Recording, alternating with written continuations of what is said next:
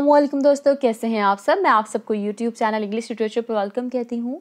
हम जो topic cover करने जा रहे हैं आज के लेक्चर के अंदर that is a passage to India जो कि बहुत ही इंपॉर्टेंट पोस्ट कलोनियल वर्क है, जिसको लिखने वाले हैं E M Forster E M Forster कौन थे? कहाँ से बिलोंग करते थे इनके इंपॉर्टेंट वर्क्स इंपॉर्टेंट थीम्स इनका राइटिंग स्टाइल्स और जो भी इम्पोर्टेंट एस्पेक्ट्स हैं हमारे राइटर को लेके, मैं उन सबको एक सेपरेट लेक्चर में कवर कर चुकी हुई हूँ।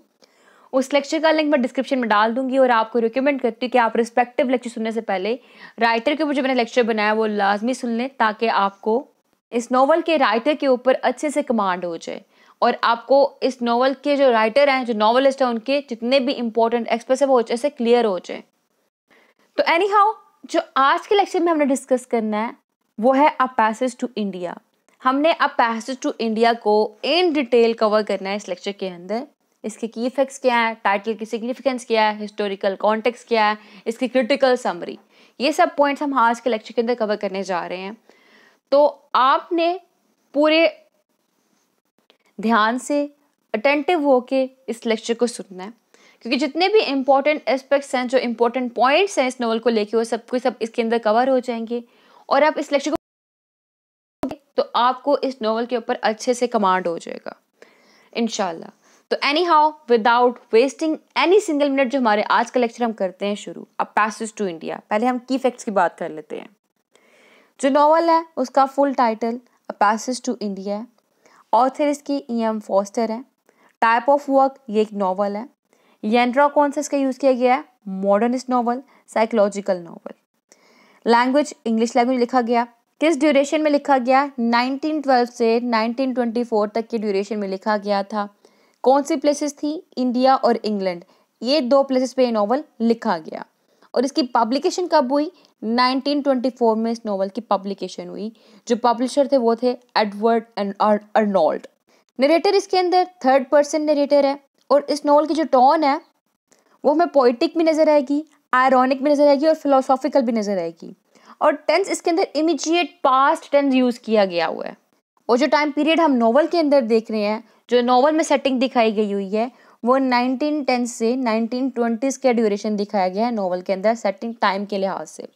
और प्लेस हम देखते हैं इंडिया इंडिया के अंदर जो दो सिटीज़ हैं, एक है मो एक है चंद्रपुर ये दो सिटीज़ देखने वाले हैं हम लोग इस नॉवल के अंदर। प्रोटैगोनिस्ट इसके अंदर डॉक्टर अज़ीज़ है और क्लाइमेक्स देखेंगे डॉक्टर अज़ीज़ का ट्रायल ठीक है? तो ये इंपॉर्टेंट की फैक्ट्स थे हमारे इस नॉवल के रेलिवेंट एक और इम्पोर्टेंट बात, वह है चंद्रपुर के बारे में। जो हमारे राइटर हैं ई एम फोस्टर उन्होंने एक फिक्शनल सिटी क्रिएट की है दैट इज़ चंद्रापुर, जो कि बेस करी है बंकीपुर के ऊपर। और ये बंकीपुर जो है, ये एक रियल सिटी है। इसको बिल्ड किया था ब्रिटिश ने 1771 में, गंगा रिवर के बिल्कुल पास। तो चंद्रापुर की अपनी एक सिग्निफिकेंस है इस नॉवल के अंदर। इसके पास ये जो चंद्रापुर है, यहाँ पे ट्वेंटी माइल्स अवे बीस माइल्स दूर केव्स मिलेंगी हम लोगों को, जिनका नाम है माराबार केव्स और इन केव्स का, इन गारों का इस नॉवल के अंदर बहुत ही इंपॉर्टेंट रोल है। कैसे? हम आगे देखेंगे। तो अब की फैक्ट्स हमारे हो गए क्लियर की फैक्ट्स के बाद हम डिस्कस करते हैं इस नॉवल का हिस्टोरिकल कॉन्टेक्स्ट किस कॉन्टेक्स्ट में ये नॉवल लिखा गया है? हिस्टोरिकल कॉन्टेक्स्ट को अंडरस्टैंड करने के लिए आपको ये दो टर्म्स को भी अंडरस्टैंड करना होगा। Number one coloniser and number two colonised कौन होते हैं कॉलोनाइजर और कौन होता है कॉलोनाइज्ड बेसिकली जब कोई पावरफुल कंट्री किसी वीक कंट्री पे जाके अपनी पावर को इम्पोज कर देती है, वहाँ पे अपनी कॉलोनीज बना लेती है तो इट मीन्स क्या होता है कि हमारे पास एक टाइम पीरियड शुरू हो गया जो कि कलोनियलिज्म का टाइम पीरियड है। ठीक है? मतलब एक पावरफुल एक वीकर कंट्री के ऊपर अपनी हुकूमत कायम कर ली है, अपना कंट्रोल कर लिया है। और जो वहाँ के रहने वाले लोग थे, उनको सप्रेस्ड कर दिया है ओप्रेस्ड कर दिया है मार्जिनलाइज कर दिया है, उनकी आवाज़ को दबा दिया है। ठीक है? तो जो वहाँ के लोग थे, जिनकी आवाज़ को दबाया गया, जिनको सप्रेस्ड किया गया ओप्रेस्ड किया गया मार्जिनलाइज किया गया, वो कौन हुए? वो कॉलोनाइज हुए। ठीक है? जिनके ऊपर सारा दबाव डाला जा रहा है। और जिन्होंने ये सारा काम किया, जिन्होंने उनको ओप्रेस्ड किया सप्रेस्ड किया मार्जिनलाइज किया, वो कौन हुए? वो कॉलोनाइजर हुए। ठीक है? अब फॉर एग्ज़ाम्पल पार्टीशन से पहले सब कॉन्टिनेंट ठीक है? जब बरसगीर, पाको, हिंद मतलब इकट्ठे रहते थे डिवीज़न नहीं हुई थी। पार्टीशन से पहले सब कॉन्टिनेंट के अंदर क्या हुआ था? जो ब्रिटिश थे ब्रिटिश एम्पायर थी, वो कायम की गई। किस तरह से? जो अंग्रेज़ थे अंग्रेज़ आए, आके उन्होंने यह किया, जो सब कॉन्टिनेंट थे, उस सब कॉन्टिनेंट के अंदर अपनी पावर अपनी रूलिंग शुरू कर दी थी। क्या कहा जी? आपके पास तो कल्चर ही नहीं है। आपके पास तो रहने सहने के तरीके ही नहीं है। आपके पास तो डेवलप डेवलपमेंट ही नहीं है। हम आपको डेवलपमेंट भी देंगे। हम आपको रहने सहने के तरीके भी सिखाएँगे। हम आपको कल्चर भी देंगे। हम आपको सिविलाइजेशन भी सिखाएँगे। मतलब ये सारा कुछ क्या कह कुहू के और ट्रेडिंग के लिए भी, तजारत के गर्ज से भी। क्या हुआ कि सारा कुछ कर करा के अंग्रेज़ आ गए जी सब कॉन्टिनेंट के अंदर और वहाँ पे आके उन्होंने अपनी रूलिंग कायम कर ली और अपनी रूलिंग कायम करने के बाद वहाँ के लोगों को उन्होंने ओप्रेस करना शुरू कर दिया सब्जुकेट करना शुरू कर दिया। और इस नोवेल में दिखाया जाएगा क्या कोलोनाइजर और कोलोनाइज कभी दोस्त हो सकते हैं? क्या वाइट मैन और ब्लैक मैन कभी दोस्त हो सकते हैं? जो कोलोनाइजर इसको वाइट मैन भी कहते हैं, जो कोलोनाइजर इसको ब्लैक मैन कहते हैं। तो यही हम जो मैंने अभी बताया ना स्टेटमेंट कि क्या वाइट और ब्लैक कभी दोस्त हो सकते हैं, यही स्टेटमेंट इस पूरे नॉवल की बेस बनेगी। इसी कॉन्टेक्स्ट के अंदर ये नॉवल लिखा गया हुआ है।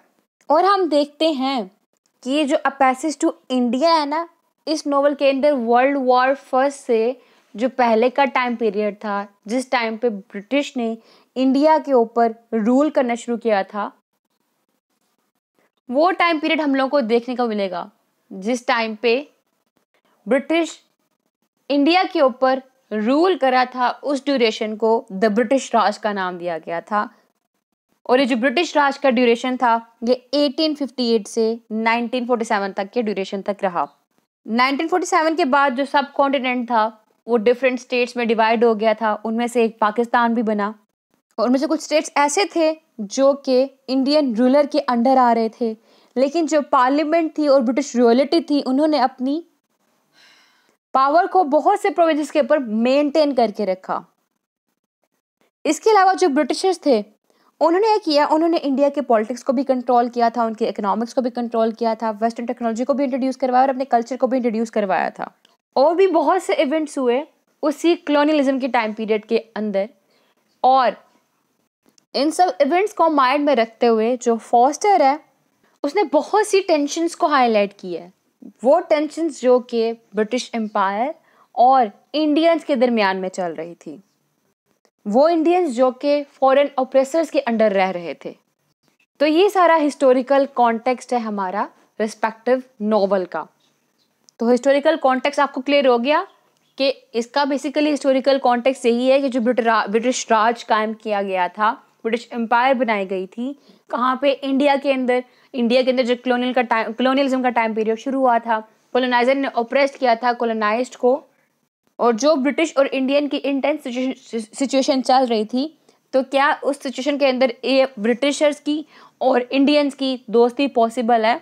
इन सब एस्पेक्ट्स को हाईलाइट किया हमारे राइटर ने इस नॉवल के अंदर। इसके अलावा राइटर ने जो ये नॉवल है ना, अपने दोस्त मसूद को डेडिकेट किया है। वो इंडिया से था, हैदराबाद से बिलोंग करता था, और राइटर जो है, ये होमोसेक्सुअल राइटर है। जिन्होंने कभी भी अपनी लाइफ के अंदर शादी नहीं की और मेल की तरफ़ ही अट्रैक्टेड होते थे तो इनको मसूद बहुत पसंद था। मसूद जो था वो एक इंडियन था और ये खुद एक तरफ़ ब्रिटिशर्स थे। और उनके लिए इन्होंने काफ़ी ज़्यादा विज़िट किए इंडिया के अंदर। और जिस बेस पे ये कहते हैं I went there to see a friend और हम लोग को मसूद का character in the form of doctor Aziz इस नॉवल में देखने को मिलेगा। और फर्दर जो ई एम फोस्टर है, उनका character in the form of Fielding इनकी फॉर्म में हम लोगों को देखने को मिलेगा।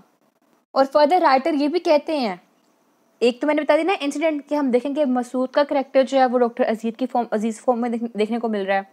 दूसरा फील्डिंग के करेक्टर के अंदर हम लोग को ई एम फोस्टर देखने को मिल रहा है। फिर मारा बार केव्स देखेंगे हम लोग इंपॉर्टेंट हो गया इस नॉवल के अंदर।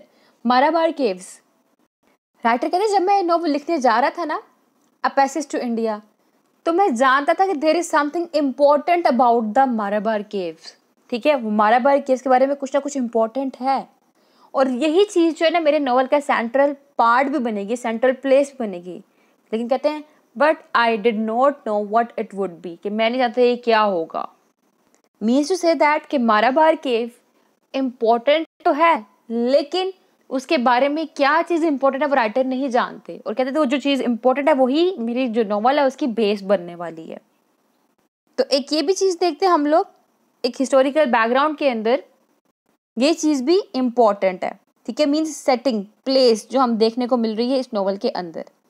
तो हिस्टोरिकल कॉन्टेक्स्ट हो गया, और इसके अलावा और इम्पोर्टेंट पॉइंट हम लोगों ने देख लिया कि राइटर इसके बारे में क्यों लिखना चाह रहे हैं, कि वो फ्रेंडशिप को हाईलाइट करना चाहते हैं। और वो इस फ्रेंडशिप के थ्रू बेसिकली अपनी और मसूद की फ्रेंडशिप को हाईलाइट करना चाह रहे हैं। इसके अलावा जो टाइटल सिग्निफिकेंस है उसको डिस्कस करते हैं हम लोग। जो टाइटल है पैसेज टू इंडिया ये बेसिकली वर्ल्ड विटमोन्स की पोइम है लीव्स ऑफ़ ग्रास उसके अंदर टाइटल लिया गया है, जिसके अंदर बेसिकली हम लोग देखते हैं अ जर्नी टू इंडिया लेकिन ये उससे भी ज़्यादा आगे की चीज़ है। किस तरह से? इसमें हम लोग देखेंगे कि एक जर्नी दिखाई गई हुई है, जो कि माइंड की जर्नी है। जो कि in search of new ventures है। In search of new fate new destiny new fortune या फिर न्यू रिस्क एक ऐसी जर्नी जिसके अंदर आपने मल्टीपल रिस्क लेकर मल्टीपल डेंजर से गुजर के कुछ नई चीज़ अचीव करनी है। और एक ऐसी जर्नी जिसके अंदर to understand thoroughly what India really is India really में है क्या? इवन के हम देखेंगे यहाँ पे मिस एडेला का करेक्टर होगा मिसेस मूर का करेक्टर होगा। दोनों ब्रिटिशर्स हैं, दोनों इंडिया आते हैं और किस लिए आते हैं? To know that what real India is ठीक है? रियल इंडिया क्या है? और इसके अलावा हम देखते हैं इसके अंदर ब्रिटिशर्स का इम्पोर्टेंट रोल है इंडियंस का इम्पोर्टेंट रोल है और उन दोनों के दरमियान में रेसिज्म उन दोनों के दरमियान में cultural clash personal clash religious clash ये सब कुछ देखने को मिलता है। इसीलिए broadly it is an attempt to make relations at personal, racial, cultural and religious levels. और इस personal racial cultural and religious clash के अंदर हम लोग इस नोवेल के अंदर देखेंगे दो लोगों की दोस्ती के बारे में फोकस किया गया है। फील्डिंग एंड अज़ीज़ जैसे कि बुक की ओपनिंग होती है वेदर और not it is possible to be friends with an English man ये जो ओपनिंग है ये भी टाइटल से लिंक्ड है। किस तरह से?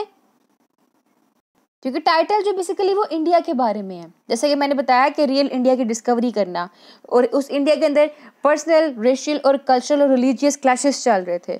और उस क्लैशेस के अंदर हम देखते हैं कि अज़ीज़ और फील्डिंग हम लोग को दो दोस्त मिलते हैं। दोनों क्या है? दोनों का रेशियल डिफरेंसेस है। उस रेशियल डिफरेंसेस की बेस पे, उस इंटेंस पॉलिटिकल इन्वायरमेंट में, उस इंटेंस पर्सनल क्योस के इन्वायरमेंट में क्या ये दोस्त हो सकते हैं? और स्टोरी में फर्दर इन दोनों की दोस्ती के अंदर क्लैश भी आएगा। कैसे आएगा? जो माराबार केव है, उसके अंदर इनको एक इंसिडेंट फेस करना पड़ेगा। एक डिजास्टर वाला इंसिडेंट एक क्योटिक इंसिडेंट जिसकी बेस पे अज़ीज़ को ट्रायल के अंदर भी लेके जाया जाएगा। और उसी इंसिडेंट की बेस पे अज़ीज़ और फील्डिंग इन दोनों की जो फ्रेंडशिप है, उसमें भी काफ़ी गैप भी आएगा। अज़ीज़ रिप्रेजेंट कर रहा है इंडियंस को, और फील्डिंग जो है रिप्रेजेंटेटिव है अमेरिकन का सॉरी ब्रिटिशर्स का। तो ये जो सारे पॉइंट्स हैं, इनके रेलिवेंट देखा जाए तो टाइटल जो बेसिकली सजेस्ट कर रहा है clash of two different cultures and civilisation and opposes a question whether there can be friendly relation between the rulers and ruled rulers कौन है? कॉलोनाइजर एंड रूल्ड कौन है? कॉलोनाइज्ड तो कहता है, क्या यहाँ पे ऐसे लोग जिनके ऊपर रूलिंग की जा रही है और ऐसे लोग जो कि रूलिंग करने वाले हैं, इनके दरमियान में क्या दोस्ती हो सकती है? तो this is all about the title significance ये टाइटल सिग्निफिकेंस कि जो डिफरेंट कल्चर्स को डिफरेंट सिविलाइजेशन के क्लैश को बता रहा है रेसिज्म को बता रहा है कलोनियलिज्म को बता रहा है फ्रेंडशिप के थीम को हाईलाइट कर रहा है। तो मतलब title itself acts as a sign board एक साइन बोर्ड की तरह काम कर रहा है कि जो जो नॉवल के अंदर होने वाला है, सब कुछ टाइटल के अंदर ही हम लोग को पता लग गया है। एनी हार टाइटल सिग्निफिकेंस के बाद अब हम इस नॉवल के जो इम्पोर्टेंट थीम्स हैं, वो है colonialism racism the difficulty of English Indian friendship और मडल्स एंड मिस्ट्रीज ये इंपॉर्टेंट थीम्स है इस नावल की। थीम्स भी हो गए। अब जो है, हम, हमने क्या डिस्कस कर लिया। हमने की इफेक्ट्स कवर कर लिए हिस्टोरिकल बैकग्राउंड कवर कर लिया। इसके टाइटल सिग्निफिकेंस हो गई। थीम्स पता लग गए हम लोग को ये थीम्स देखने को मिलेंगे। अब हम लोग इस नॉवल की जो क्रिटिकल समरी है, वो करने लगे हैं शुरू। तो अब होता क्या है? जो नॉवल है, वो nineteen hundred in colonial India का टाइम पीरियड दिखाया जा रहा है हम लोगों को। हमारे पास इसमें एक करेक्टर है अज़ीज़ का, जो कि एक यंग मुस्लिम डॉक्टर है। और जो अज़ीज़ है डॉक्टर अज़ीज़ ये बेसिकली चंद्रापुर से बिलोंग करते हैं और नॉवल के ओपनिंग पे अपने दोस्तों से डिस्कशन कर रहे हैं कि whether it is possible for an English man and an Indian to be friends तो ओपनिंग पे ही इस नॉवल के अंदर जो इम्पोर्टेंट थीम है friendship between English man and Indians उस थीम को हाईलाइट कर दिया गया हुआ है।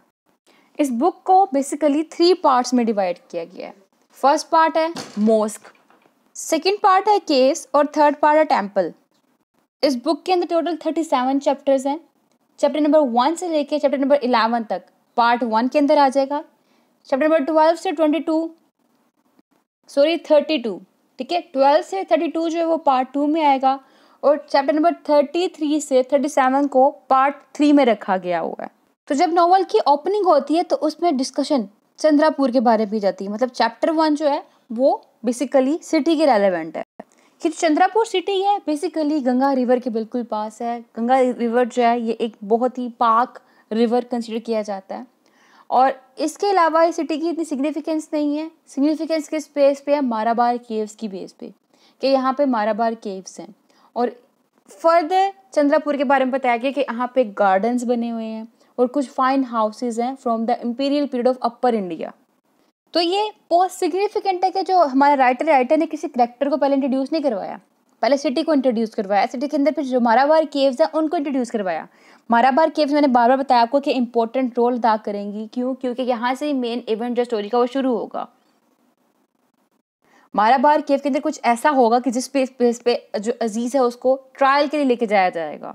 उसको जेल में बंद कर दिया जाएगा। तो ये सारा कुछ फ़र्स्ट चैप्टर में बताया गया है। एंड यहाँ इसके बाद क्या होता है? इसके बाद जो कि मैंने आपको बताया था नाइनटीन हंड्रेड्स का टाइम पीरियड दिखाया गया है कलोनियल इंडिया के अंदर। एक यंग मुस्लिम डॉक्टर जिसका नाम अज़ीज़ है ये अपनी बाईसाइकिल के ऊपर बैठकर हमीदुल्ला इनका दोस्त का नाम है हमीदुल्ला उनके घर जाते हैं जहाँ पे उनके एक और दोस्त महमूद अली भी बैठे होते हैं। तो किसके घर आए हैं? हमीदुल्ला के घर आए हैं, जहाँ पे इनके एक और दोस्त दोस्त मोहम्मद महमूद अली, ये भी बैठे हुए हैं। और ये तीनों मिलकर डिस्कशन कर रहे होते हैं, किसके बारे में? ब्रिटिश और जो वाइट मैन और सॉरी ब्रिटिश और जो इंडियन है, उनके बारे में डिस्कशन कर रहे होते हैं कि क्या ये दोस्त कभी हो सकते हैं कि नहीं हो सकते। इनमें जो हमीदुल्ला है, ये कैम्ब्रिज यूनिवर्सिटी से पढ़े हुए हैं। और उसके बाद इनका ये कहना है कि it is only possible in England सिर्फ़ सिर्फ़ इंग्लैंड में पॉसिबल है ये चीज़। एनी हाउ जिस टाइम ये तीनों डिस्कशन कर रहे होते हैं उस दौरान पे हमीदुल्ला बेगम आती हैं और वो आके अज़ीज़ से पूछती हैं कि क्या तुम दोबारा शादी करोगे? तो अज़ीज़ कहता है वंस इज़ इनफ तो इट मीन्स हमें रिवील होता है यहाँ पे स्टोरी के अंदर कि अज़ीज़ जो है ये ऑलरेडी मैरिड पर्सन है लेकिन इसकी जो वाइफ है उसकी डेथ हो चुकी हुई है। एनी हाउ जब अज़ीज़, हामिदुल्ला और मसूद दोनों बैठे होते हैं सॉरी महमूद भी बैठे होते हैं, बातें कर रहे होते हैं तो अचानक एक सर्वेंट आता है और वो सर्वेंट सर्वेंट आके कहता है कि डॉक्टर अज़ीज़ को सिविल सर्जन ने अपने घर पे बुलाया। डॉक्टर अज़ीज़ सिविल सर्जन के घर पे जाते हैं। जब वहाँ जाते हैं तो इनको बहुत ज़्यादा इग्नोर किया जाता है। इनके साथ काफ़ी रूड बिहेवियर वहाँ पे किया जाता है। रूडली ट्रीट किया जाता है इनको। और उस ट्रीटमेंट के बाद अज़ीज़ जो है, वो विज़िट करता है एक इस्लामिक मोस्क को, एक मस्जिद की तरफ़ जाता है, जहाँ पे इसकी मुलाकात होती है मिसेस मूर से। अब मिसेस मूर कौन थी? बेसिकली हमारे पास दो पर्सन है, एक है एडेला और दूसरी है मिसेस मूर ये दोनों ना इंग्लैंड से इंडिया आई थी। क्यों आई थी? क्योंकि ये बेसिकली रियल इंडिया को देखना चाहती थी। जो एडेला थी, ये एक यंग लेडी थी मिसेस नूर एक ओल्ड लेडी थी। अडेला जो थी, उनकी शादी होने वाली थी मिसेस नूर के बेटे से, जिनका नाम है रोनी। रोनी जो था ना, ये बेसिकली चंद्रपुर के अंदर एक ऑफिशियल था। ठीक है? तो अब क्या हुआ? मिसेस मूर एक ऑफिशियल की मदर हुई। रोनी का और मिसेस मूर का करेक्टर बिल्कुल ऑपोजिट है। मिसेस मूर एक काइंड हार्टेड एक लवेबल वुमेन है। On the other hand Ronny जो है एक ब्रूटल पर्सन है जो कि इंडियंस को काफ़ी ज़्यादा नफरत करता है डिसलाइक करता है। अब मिसिस मूर जो है, एक रात अकेली मस्जिद की तरफ़ जा रही थी। और मैंने आपको बताया बैक पे स्टोरी पे कि अज़ीज़ जो है सर्जन के घर से होने के बाद मस्जिद की तरफ़ जा रहा था। अब वहाँ पे उस रात मिसिस मूर की और अज़ीज़ की मुलाकात होती है एक लोकल मोस के अंदर और दोनों एक इंस्टेंट कनेक्शन फील करते हैं। कनेक्शन किस तरह से? कि अज़ीज़ भी मैरिड है, मिसिस मूर भी मैरिड है। अज़ीज़ की भी वाइफ की डेथ हुई है, मिसिस मूर के हस्बैंड की डेथ हुई हुई है। अज़ीज़ के भी बच्चे हैं और इनके भी बच्चे हैं, ठीक है? और दोनों अपने बच्चों को बहुत ज़्यादा पसंद करते हैं, प्यार करते हैं। अब होता क्या है, जब मिसिस मूर मस्जिद में दाखिल हो रही होती हैं उस टाइम अज़ीज़ उनको टोकता और कहता है कि आप अपने शूज़ को उतार के अंदर जाइएगा। मिसिस मूर रिस्पॉन्स करती कि मैं ऑलरेडी अपने शूज़ उतार चुकी हुई हूँ और शूज़ उतार के ही मस्जिद में एंटर हो रही हूँ। जो चीज़ रिप्रेजेंट करती है सिंबलाइज करती है मिसिस मूर का एटीट्यूड मतलब कि ऑलरेडी वो काइंड हार्टेड है और हर एक के रिलीजन की रिस्पेक्ट करने वाली वुमेन दिखाई गई हैं। एनी हाउ यहाँ से मुलाकात के बाद अज़ीज़ जो है मिसिस मूर को कब क्लब के अंदर ड्रॉप करके आता है। क्लब ये डांस पार्टी वाला क्लब नहीं है. बेसिकली ये क्लब ऐसा जहाँ पे जो डिफरेंट इंग्लिश पीपल है, वो इकट्ठे in the form of group वहाँ पे रह रहे हैं डिस्कशन करते हैं, बातचीत करते हैं. एनी हाउ अब मिसिस मूर जो है, वो जब चले गई हैं क्लब में तो वहाँ पे मिसिस मूर अपनी मुलाकात करती हैं एडेला से. अब एडेला और मिसिस मूर जो है, वो बेसिकली रियल इंडिया को देखना चाहती हैं इंडियन से मुलाकात करना चाहती हैं. तो एक करेक्टर हमारे पास मिस्टर टर्टन का मिस्टर टर्टन जो है ना, ये इंग्लिश कलेक्टर है। ये पार्टी होस्ट करते हैं क्लब के अंदर। और उस पार्टी के अंदर ये कुछ इंडियंस को भी बुलाते हैं, ताकि वो मिसेस मूर और अडेला से मिल सके। अब जब ये ब्रिज पार्टी हो रही होती है, इसके अंदर इंग्लिश मैन भी आए होते हैं, अब इंडियंस भी आए होते हैं। अब यहाँ पे मिसेस मूर और अडेला काफ़ी ज़्यादा फेलियर फ़ीस करती फेस करती हैं। क्यों? उनको इतना अच्छा नहीं लगता। क्यों? क्योंकि वो देखती है कि बहुत ही रेयर इंग्लिश गेस्ट होंगे जो कि अच्छा बिहेवियर दिखा रहे होंगे टूवर्ड्स इंडियंस ठीक है? मतलब मोस्टली जो इंग्लिश इंग्लिशर्स हैं, जो इंग्लिश मैन हैं, वो ब्रूटली ट्रीट कर रहे होंगे और अजीब तरह से ट्रीट कर रहे होंगे इंडियाज को इंडियंस को सॉरी लेकिन कुछ कुछ बीच में इंडियंस मैन होंगे जो कि सॉरी इंग्लिश मैन होंगे जो कि इंडियंस को अच्छे से ट्रीट कर रहे हैं। जिस बीच में काफ़ी हैरान भी होती हैं अपसेट भी फील करती हैं।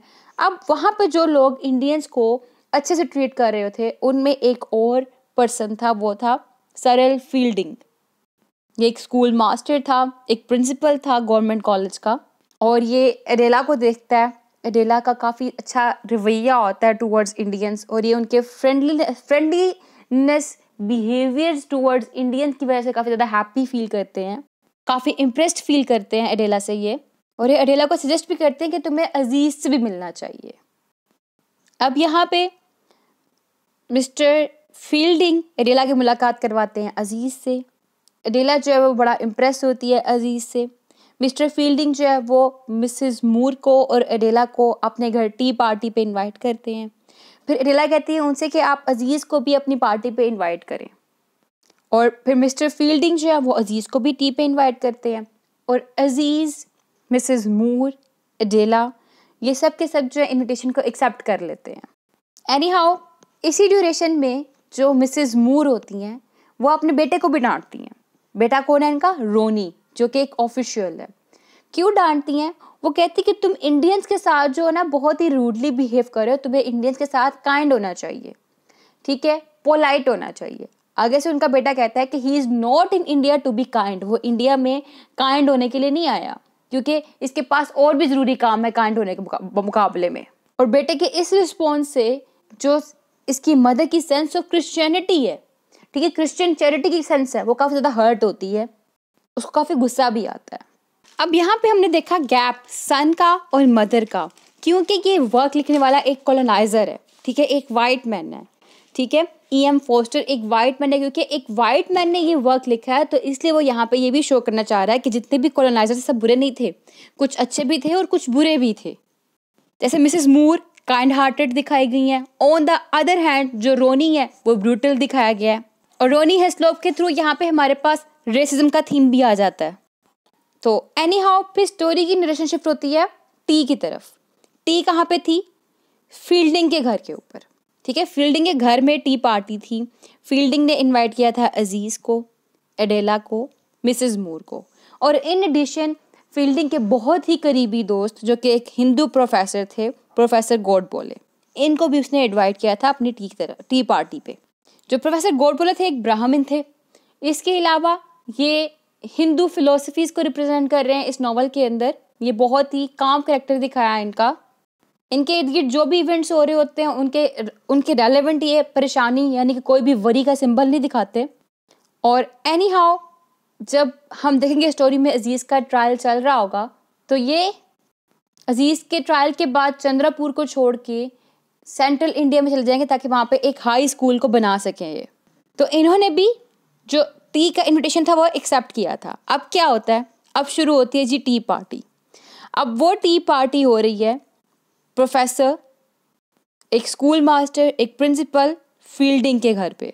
टी पार्टी शुरू होने से पहले अज़ीज़ जो है फील्डिंग के घर पहुँच जाता है। और अज़ीज़ और फील्डिंग काफ़ी अच्छा टाइम स्पेंड करते हैं आपस में, काफ़ी गपशप करते हैं, बातें करते हैं। और इन दोनों के थ्रू जब इनकी डिस्कशन हो रही होती है, वहाँ पे थीम ऑफ़ फ्रेंडशिप जो है, उसको हाईलाइट किया जाता है। Friendship between colonizer and colonize को। क्योंकि ये दोनों काफ़ी अच्छा टाइम स्पेंड करते हैं और जो भी डिस्कशन कर रहे होते हैं, ये थ्रू एंड थ्रू फ्रेंडशिप के बारे में डिस्कशन कर रहे होते हैं। और जब अज़ीज़ जाता है फील्डिंग की तरफ़ तो देखता है फील्डिंग का जो कॉलर होता है कॉलर स्टड वो उसके पास नहीं होता। तो अज़ीज़ उसको अपना कॉलर स्टड ऑफ़र करता है। और कॉलर सिग्निफिकेंट है यहाँ पे, क्योंकि कॉलर जो है वो बिलोंग करता है इंग्लिश क्लोथ्स के साथ इंग्लिश के ड्रेस के साथ। और अज़ीज़ बताता है, फील्डिंग को ये कॉलर ये खुद इसलिए पहनता है ताकि ये पुलिस से बच सके। क्योंकि जब किसी पर्सन ने, किसी इंडियंस ने इंग्लिश ड्रेस पहना होता है तो जो पुलिस होती है, उस इंग्लिश ड्रेस वाले मैन का बहुत ही रेयर नोटिस लेती है, इतना नोटिस नहीं लेती। तो बेसिकली अज़ीज़ वो कॉल स्टार्ट फील्डिंग को ऑफ़र करता है. इट मीन्स कि Aziz wants to develop his friendship with Fielding और एक और इम्पोर्टेंट बात कि जो मिस्टर टर्टन थे, उन्होंने जब पार्टी की थी, उस पार्टी के अंदर अज़ीज़ नहीं गया था. क्यों नहीं गया था? क्योंकि जो अज़ीज़ थी अज़ीज़ था, उसकी वाइफ की डेथ हुई हुई थी पहले तो उसकी वाइफ की डेथ एनिवर्सरी की भी डेट सेम डेट थी, जिस डेट को वो ब्रिज पार्टी हो रही थी. स्टोरी भी बताया गया जो अज़ीज़ और उसकी वाइफ थी, उनकी स्टार्टिंग के अंदर जब उनका रिलेशनशिप शुरू हुआ था तो इतनी मोहब्बत नहीं थी दोनों में, लेकिन जब उनका पहला बच्चा पैदा हुआ तो उस फ़र्स्ट चाइल्ड की बर्थ के बाद इन दोनों के अंदर काफ़ी ज़्यादा जो इंटीमेसी थी, जो मोहब्बत थी फैक्शन थी, वो डेवलप होना शुरू हो गई थी। और वाइफ की डेथ ने अज़ीज़ के ऊपर एक ग्रेट ट्रॉमा क्रिएट किया था, एक ग्रेट ट्रबल एक ग्रेट लॉस था अज़ीज़ के लिए उसकी वाइफ का मरना। तो यहाँ से relationship between husband and wife का थीम भी हमारे पास सामने आ गया है। तो एनी हाउ मैं स्टोरी बता रही थी फील्डिंग और अज़ीज़ की कि अज़ीज़ फील्डिंग के घर बाकी लोगों के आने से पहले पहुँच चुका हुआ था। अब क्या है अज़ीज़ ने उस ड्यूरेशन में फील्डिंग को अपना कॉलर स्टड ऑफ़र किया और फिर अज़ीज़ का जो कॉलर स्टड था, वो फील्डिंग ने खुद लगा लिया। उसके ऑफ़र करने पे मींस फील्डिंग ने उसकी फ्रेंडशिप को एक्सेप्ट किया। फिर उसके बाद क्या होता है पार्टी के अंदर प्रोफेसर गोडबोले भी आते हैं अडेला भी आ जाती है मिसेस मूर भी आ जाती हैं। पार्टी पे इनका सेंटर ऑफ़ डिस्कशन जो होता है ना, वो माराबार केव्स होती हैं। ठीक है? वही कार जो मैंने कहा सिग्निफिकेंट रोल प्ले करती हैं थ्रू आउट द स्टोरी और स्टोरी की डेवलपमेंट के अंदर। माराबार केव्स के बारे में बात कर रहे होते हैं। अज़ीज़ इन सबको इनवाइट करता है कि हम सब जो है इकट्ठे होकर माराबार केव्स जाएँगे। मैं आपको वो दिखाऊँगा, चंद्रपुर की स्पेशलिटी है वो केव्स और ये खुद पहले कोई भी में से कभी भी नहीं गया, सिवाय प्रोफेसर गोड बोले के। एनी हाउ पार्टी काफ़ी अच्छी चल रही होती है, फिर वहाँ पर रोनी आ जाता है। रोनी जब आता है वो काफ़ी रूड बिहेवियर शो करता है टूवर्ड्स इंडियंस अब जब रोनी यहाँ पे आता है, वो इनकी पार्टी को स्पॉयल कर देता है इंडियंस की तरफ़ स्पेशली अज़ीज़ की तरफ़ नेगेटिव एटीट्यूड दिखा के, अपना नेगेटिव बिहेवियर दिखा के, उस दौरान पे एडेला सोचती है कि वो ना रोनी को पसंद नहीं करती तो उसको रोनी से शादी नहीं करनी चाहिए चाहिए। और रोनी को भी कहती है कि वो, मैं, जो है ना अडेरा कहती है, रोनी को मैं तुमसे शादी नहीं करना चाहती। एनी हाउ इसके बाद दोनों जो है ना, वो प्लान करते हैं कि चलो, हम कार में ना लास्ट टाइम एक ट्रिप कर लेते हैं। जब वो कार में ट्रिप करके जा रहे होते हैं तो क्या होता है, उनकी कार क्रैश हो जाती है इंटू मिस्टीरियस एनिमल जब वो कार क्रैश होती है तो उनका एक्सीडेंट होता है और उस इंसिडेंट के बाद अडेला सोचती है कि नहीं, मैंने गलत किया, रोनी, मैं तुम तुमसे शादी करना चाहती हूँ। अडेला अपने माइंड को अगेन चेंज कर लेती है। एनी हाउ इसके बाद जो अज़ीज़ और गोड बोले थे वो दोनों इस पार्टी के बाद बीमार हो जाते हैं। और उसके बाद अज़ीज़ को मिलने के लिए जाता है फील्डिंग। जब फील्डिंग अज़ीज़ को मिलने के लिए जाता है, तब अज़ीज़ जो है ना, फील्डिंग को अपनी वाइफ की पिक्चर दिखाता है। और बताता है कि यू आर द फ़र्स्ट जिसको मैंने अपनी वाइफ की पिक्चर दिखाई। और बताता है कि मैं अपनी वाइफ को कभी भूल नहीं पाऊँगा। अपनी वाइफ से जो इसकी मोहब्बत है, उसको बताता है। जो कि एक सिग्निफिकेंट इवेंट है किस चीज़ का, इनके फ्रेंडशिप की डेमोन्स्ट्रेशन का। कि मतलब अज़ीज़ अपनी वाइफ की पिक्चर दिखा रहा है उसको, एक वाइट मैन को, और कहता है, मैंने कभी किसी को दिखाई नहीं। तो ये इवेंट सिंबलाइज कर रहा है कि अज़ीज़ का ट्रस्ट ऑन फील्डिंग और फील्डिंग का जो पोलाइट बिहेवियर है टूवर्ड्स अज़ीज़, ठीक है? इन दोनों का रिलेशनशिप दिखाया गया यहाँ पे। अब, इसके बाद क्या होता है? जब अज़ीज़ रिकवर होता है तो अज़ीज़ जो है बड़ा ही क्यूरियस होता है केयरफुल होता है अपने उस ट्रिप के लिए। वो चाहता है कि कोई भी चीज़ ऐसी ना हो वहाँ पे जो कि ये इंग्लिश लेडीज़ को डिस्टर्ब करे। ठीक है? तो बड़ा ही ज़्यादा अपनी ना उस जो उसकी ट्रिप होती है, उसको लेकर बड़ा ज़्यादा सोच रहा होता है। एनी हाउ अब जब ये ट्रिप के लिए निकल रहे हैं तो उस दौरान क्या होता है, जो फील्डिंग और प्रोफेसर गोडबोले होते हैं ना, वो ट्रेन को मिस कर देते हैं। अब अज़ीज़ अरेला और मिसेस मूर के साथ फिर अकेला निकल जाता है उस ट्रिप की तरफ़। जब ये निकल जाते हैं उस ट्रिप की तरफ़ पहुँचते हैं मारा बार केवल साइड पे तो वहाँ पे ये एलिफेंट के ऊपर राइड करते हैं पिकनिक करते हैं, कुछ केव्स को विज़िट करते हैं। और जो केव्स होती है, वो बहुत ही एंशियंट केव्स होती है और अनफ्रेंडली दिख रही होती है। मतलब वहाँ पे कंफर्टेबल नहीं फील कर रहे होते। ना अडेला ना मिसेस मोर ठीक है? उनको वहाँ पे कुछ हाउंटिंग एको सुनाई दे रही होती है। कोई ऐसी वजह जो कि उनको डिस्टर्ब कर रही होती है। इवन उस केव के अंदर जब विज़िट कर रही होती है मिसेस मोर वो बहुत ही ज़्यादा घबरा जाती है। उनकी तबीयत काफ़ी डिप्रेस्ड हो जाती है। वो काफ़ी ज़्यादा डिस्टर्ब फील करती हैं। क्यों? क्योंकि वहाँ पे इको हो रही होती है आवाज़ें गूंज रही होती हैं और वो आवाज़ बूम की आवाज़ की तरह सुनाई दे रही होती है। तो मिसेस मूर कहती हैं कि अब जो है ना फर्दर केव के अंदर मैं तुम लोगों के साथ विज़िट नहीं करूँगी, मैं रेस्ट करूँगी क्योंकि ना मैं अब थक चुकी हूँ। वो काफ़ी डिप्रेस फील कर रही होती हैं और वो नहीं जाती फर्दर केव में। अब क्या होता है? अज़ीज़ और अडेला और एक गाइड उनके साथ होता है। वो गाइड जब वो इनको फर्दर विज़िट करवाने के लिए लेके जाता है फर्दर केव्स के अंदर। अब अडेला और अज़ीज़ और एक जो गाइड है उनके साथ, वो जब केव्स की तरफ़ विज़िट कर रहे होते हैं ना, उस ड्यूरेशन में अडेला रियलाइज़ करती है कि that she does not love Ronny वो रोनी को पसंद नहीं करती। और वो अज़ीज़ से उसकी मैरिज के बारे में और अपनी मैरिज के बारे में डिस्कशन करना शुरू कर देती है और अज़ीज़ से डिस्कस करती है कि that if he has more than one wife कि क्या कभी उसकी एक से ज़्यादा बीवी हुई है, या उसकी कोई और बीवी भी है, या वो शादी करना चाहता है, ये सुन के ना अज़ीज़ को बड़ा गुस्सा आ जाता है। और वो गुस्से में आके ना अब एक बिल्कुल करीब की केव के अंदर, गार के अंदर बैठ जाता है ताकि वो रिकवर हो। और जब वो रिकवर होकर वापस आता है तो देखता है अडेला इज़ गोन अडेला वहाँ से जा चुकी होती है। अडेला वहाँ पे नहीं होती। और वो जब अडेला को ढूँढने के लिए निकलता है कि अडेला कहाँ गई है तो उसको उसकी ब्रोकन फ़ील्ड ग्लासेस मिल मिलती हैं। और वो बाद में उसको बॉटम ऑफ़ द हिल पे देखता है। मतलब जो पहाड़ी थी उसके बिल्कुल बॉटम पे देखता है कि वो जा रही है। फिर उसके बाद जो अज़ीज़ है, वो दोबारा वापस पिकनिक साइड पे जाता है, जहाँ पे फील्डिंग आ चुका हुआ होता है। अडेला जो है, वो एक कार के अंदर बैठ बैठ के चंद्रापुर की तरफ़ निकल जाती है। अब अडेला तो निकल गई कार में, बैठकर चंद्रापुर की तरफ़ किसी को बताए बगैर, और जो बाकी थे वो ट्रेन में बैठ के वापस जा रहे होते हैं।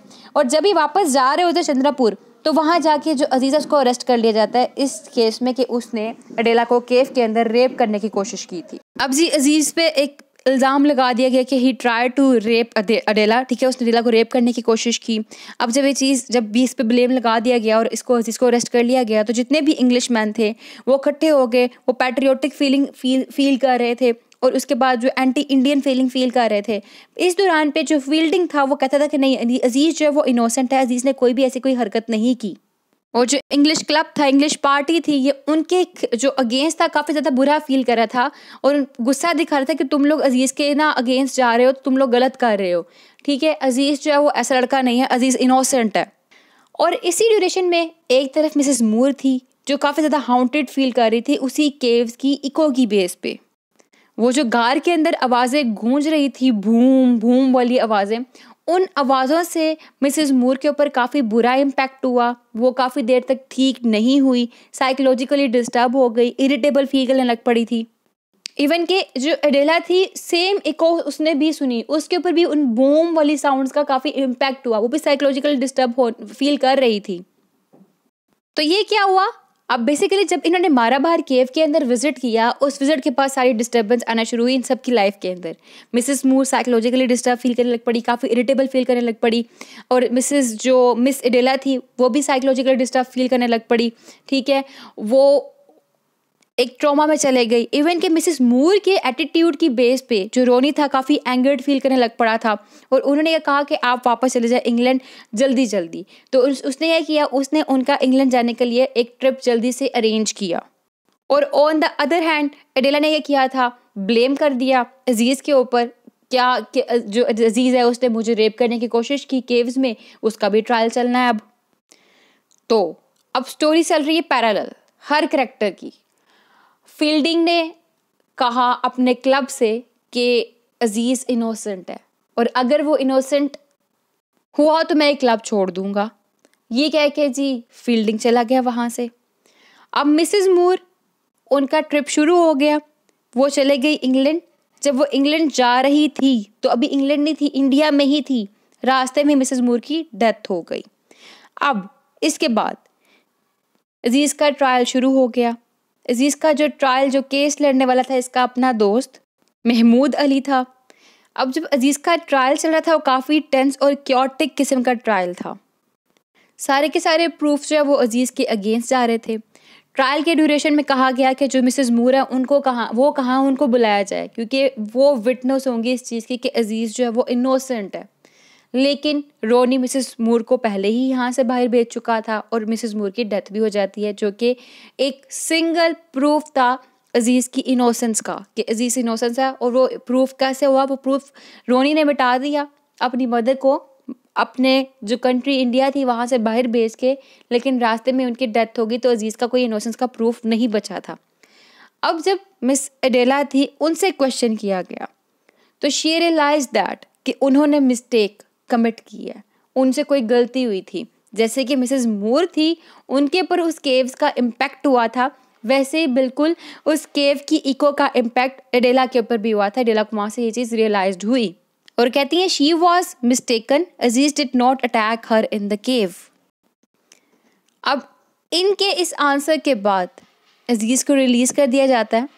और ये जो मिस्ट्री थी ना, कि क्या हुआ था डेला के साथ, वो मिस्ट्री ही रहती है। साइकोलॉजिस्ट कहते हैं कि ये एक डिज़ीज़ से गुजर रही थी, वो थी इसकी सप्रेस्ड फीलिंग्स ये बेसिकली खुद लाइक करती थी अज़ीज़ को और ये चाहती थी उससे शादी हो जाए। तो जो चीज़ें इमेजिन कर रही थी बेसिकली इसने वही चीज़ इमेजिन करके फील किया कि सब कुछ इसके साथ हुआ है, उस इको की बेस पे, उस शोर की बेस पे। एनी हाउ इसके आंसर के बाद अज़ीज़ को रिलीज़ कर दिया जाता है। जितने भी इंडियंस हैं, वो सारे के सारे वाइल्डली सेलिब्रेट कर रहे होते हैं इसकी आज़ादी को, इसकी फ्रीडम को। और जो फील्डिंग होता है दूसरी तरफ़ वो अडेला को कॉलेज की तरफ़ लेके जाता है। क्योंकि फील्डिंग बड़ा इम्प्रेस होता है इस चीज़ पे कि अडेला ने एक ऑनेस्ट एक्ट किया है। अडेला चाहती थी तो वहाँ पे अज़ीज़ को फंसा सकती थी, लेकिन अडेला ने अपनी गलती को रियलाइज़ किया और सच्चाई को वहाँ पे कॉन्फेस किया। जबकि जब फील्डिंग एडेला के साथ अच्छा एटीट्यूड दिखा रहा होता है, उस ड्यूरेशन पे अज़ीज़ जो है वो फील्डिंग से नाराज़ हो रहा होता है कि अडेला जिसने मेरे पे ब्लेम किया था फील्डिंग तुम उसको क्यों सपोर्ट कर रहे हो? ठीक है, उसकी क्यों हेल्प कर रहे हो? फील्डिंग कहता है कि अडेला जो ने एक ब्रेव टास्क कमिट किया है? उसने उस जगह पे सच्चाई को कन्फेस किया है, जिस जगह पे वो चाहती तुम्हें फंसा सकती थी लेकिन फिर भी जो फील्डिंग और अज़ीज़ है, उनका रिलेशनशिप वर्स होता जाता है, आहिस्ता आहिस्ता। और अज़ीज़ यही सोचता है कि जो इंग्लिश मैन है, वो कभी भी इंडियंस के दोस्त नहीं हो सकते। ठीक है इंग्लिश हमेशा इंग्लिश को ही सपोर्ट करता है। एनी हाउ फील्डिंग जो है, वो अडेला को कॉलेज लेके जाता है, इस ट्रायल के बाद। अडेला काफ़ी फोर वीक्स के मतलब कुछ वीक्स के लिए ना, यहाँ पे स्टे करती है। इंडिया में लेटर ऑन वो इंग्लैंड मूव कर जाती है। इसी ड्यूरेशन में क्या होता है रोनी अपनी इंगेजमेंट अडेला से तोड़ देता है। और इंगेजमेंट ख़त्म होने के बाद रेला रिटर्न्स टू इंग्लैंड इंग्लैंड चले गई वापस वो। अज़ीज़ जो है वो बिट्रेड फील करता है कि वाई क्यों क्यों वो हमेशा अडेला के साथ रहा जबकि अज़ीज़ फील्डिंग को बहुत लाइक करता था? एनी हाउ इनकी फ्रेंडशिप जो थी वो काफ़ी कूल हो जाती है। मतलब इतनी स्ट्रॉन्ग फ्रेंडशिप नहीं रहती।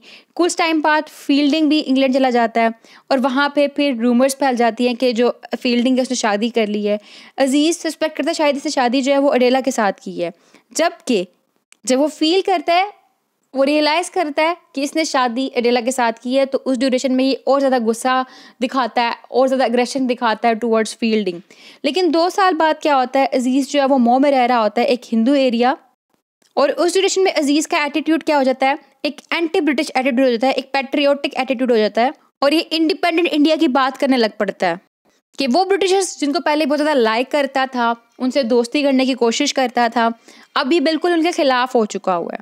अब इसी ड्यूरेशन में क्या होता है? जो फील्डिंग है, वो मो में आता है, ठीक है? और वहाँ पे वो अपनी वाइफ और अपने ब्रदर इन लॉ के साथ आता है और अज़ीज़ का इनकाउंटर होता है, मुलाकात होती है उनके साथ। और जब अज़ीज़ की मुलाकात होती है उसके ब्रदर इन लॉ के साथ और उसकी वाइफ के साथ तो बड़ा हैरान हो जाता है ये चीज़ देख कर कि अज़ीज़, जो फील्डिंग है, उसने शादी अडेला के साथ नहीं की, बल्कि स्टेला मूर के साथ की, जो कि मिसिज मूर की बेटी थी।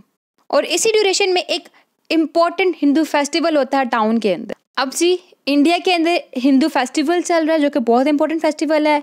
उसी ड्यूरेशन अज़ीज़ की मुलाकात हो रही है जी राफ मूर से, जो कि फील्डिंग का ब्रदर इन लॉ है।